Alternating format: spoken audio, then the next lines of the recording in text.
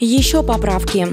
Владимир Путин подписал закон, который повлияет на нормы об ОСАГО. К примеру, закреплена возможность составления водителями причастных к аварии транспортных средств извещения о ДТП в виде электронного документа. Это касается случаев оформления документов о ДТП без участия правоохранительных органов. Кроме того, установлен порядок возмещения потерпевшему вреда его жизни или здоровью, причиненного несколькими участниками ДТП в рамках одного страхового случая, сообщает гарант.ру дать право.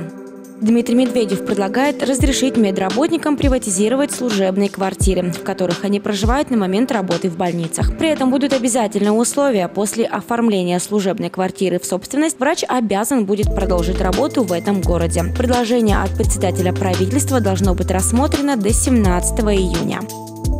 Сухой закон. В День Победы 9 мая по всему Пермскому краю будет запрещена продажа алкоголя. Если в магазинах нарушат постановление, то продавцам грозит штраф до 4000 рублей. А вот руководство магазина может получить штраф в сумме 40 тысяч рублей. Под запретом в Пермском крае до 10 июня рыбачить можно только с берега, а ловить рыбу можно только одной поплавочной или донной удочкой. Если не соблюдать эти правила, то можно нарваться на уголовную или административную ответственность. Побежали! 10 мая с 12 часов дня в центре машины проехать не смогут, ведь с полудня будет проходить 72-я весенняя легкоатлетическая эстафета. Бежать будут все от мала до велика, а награждение самых быстрых состоится в 13.30.